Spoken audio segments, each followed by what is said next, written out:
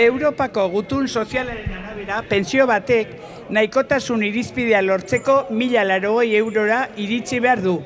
Amalau hilekotan, zartzaroan bizitza duin bat lortu izan dezan.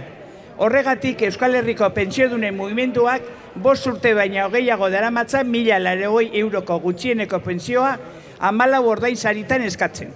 Nafarroko gobernuari eta foru erakundei dagokie beharrezko gutxieneko diru sarrerak bermatzea, persona guztiek oroar eta bereziki adinekoen.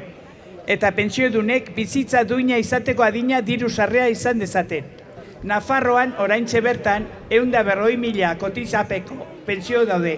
Eta horietatik irurogei eta bi mila bosteun talaroi eta menetzi, hau da, euneko berrogoi talau ez dira hilean mila eurora iristen. Eta berrogei talau mila zorlaroi eta zazpi horietatik ja euneko irurogei tamar emakumenak dira. Pentsioetan dagoen genero arrakalaren adibide garbia da eta aztu gabe emakume kobratzen dituzten pentsioak gizonezkoa baino eunda euneko goita mazazpi txikiago direla.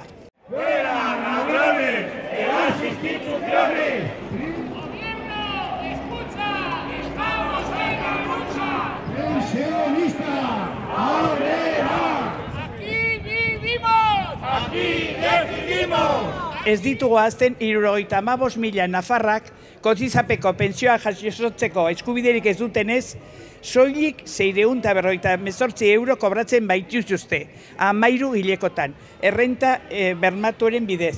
Egia da, Nafarroko gobernuak berriki eguneratu dituela alarguntza pensioen eta kotizapeko gutxieneko pensioen osagarriak.